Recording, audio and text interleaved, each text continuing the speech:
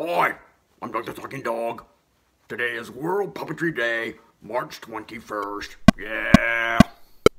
I am the Snuggle Bandit. I'm needing some snuggles.